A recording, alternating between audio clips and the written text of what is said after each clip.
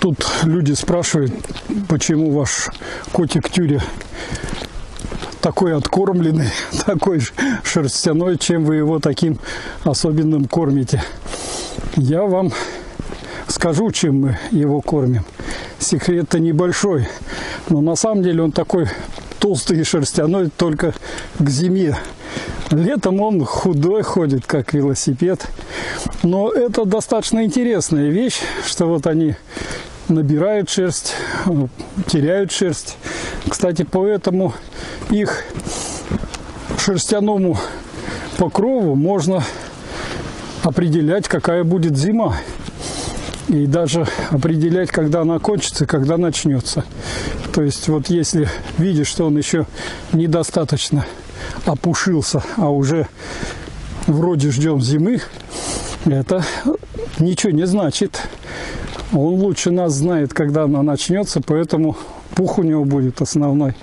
И вот так, когда настоящие морозы наступит. Сейчас вот прямо видно, я вам по березе показывал, что по березе видно, что еще не пора морозом. И действительно, три дня назад я вам сказал, что будет еще тепло, а вчера уже и гидромедцентр объясняет. Ну и по коту видно, что он еще не набрал шерсти до конца, и поэтому еще у него все впереди. Ну что? во-первых, он у нас кот рабочий, то есть мышей и крыс он ловит. Причем ловит иногда по заказам. Матушка его в этом году напали на морковь мыши. А морковь чуть-чуть в другом конце огорода. Вот она его повела, посадила, показала, что здесь надо поймать. С утра он притаскивает еще вот такую крысятину. Вот. И потом еще несколько дней сидел на этой грядке с морковью. Так что он рабочий кот, но я вот прямо вот не могу сказать, что он их ест. Почему-то каких-то, может быть, и ест, а каких-то он приносит нам.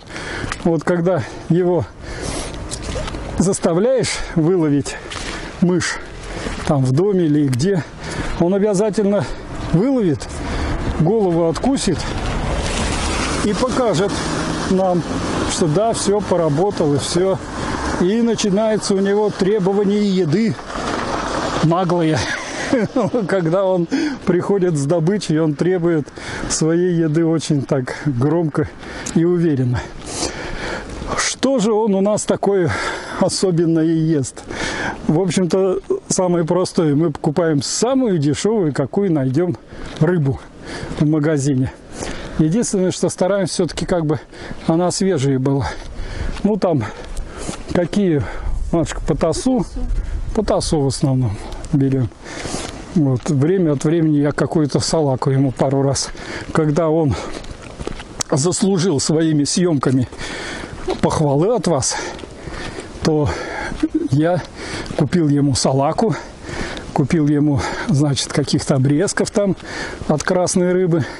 Правда, красная рыба оказалась, когда ее вынули из пакета, и промыли белая, то есть там явно краска была.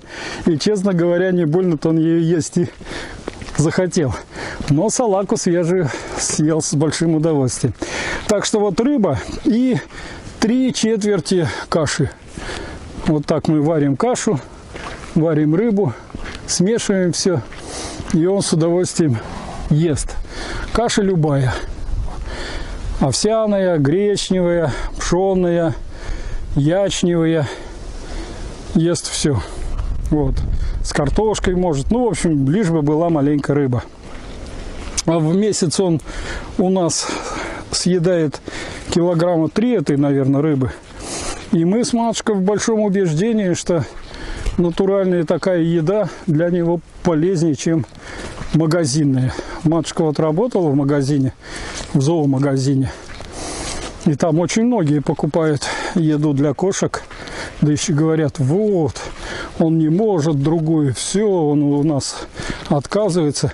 Я боюсь, что это какие-то добавки специальные туда вкладывают, чтобы они привыкали, и поэтому кошки не могут от нее отказаться. а в натуральной нет никаких добавок рыбе. Единственное, что делаем, мы понимаем, что могут ее обрабатывать, когда мы ее вот промываем хорошенечко, а иногда еще и а, в соде держим, вот в такой, чтобы вот если какая-то в ней в пищевой соде. Вот, потом промываем еще раз и уже тогда варим. Так что кормите котиков натуральной пищей, они вам будут благодарны и будут теплые, как тюря. Кстати, собираемся завести канал для тюри, потому что уж больно он любит разговаривать со всеми. Я решил, что вполне можно ему открыть свой канал и пусть мурлыкает. Это будет снимать депрессию и будет людям помогать тем, у кого кошек нет, иметь с ними отношения.